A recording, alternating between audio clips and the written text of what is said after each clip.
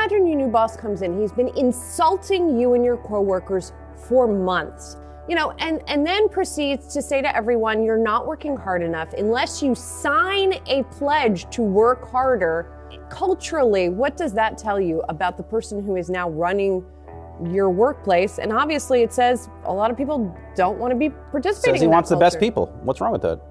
What's, he already said that everyone there is horrible and has been saying that for months. So And- why do you want to work for somebody like that? That's what really ratcheted it up on the employee employer relations front, and especially knowing that so many people were already disgruntled with the fact that they had Elon Musk taking over the company that they have worked at for years and now are either being laid off in mass or seeing their friends laid off in mass or just deciding for themselves, you know what? I'm not getting the same type of equity that I would have as when Twitter was a pre-IPO pre-IPO company or even a publicly traded company. So what's the incentive?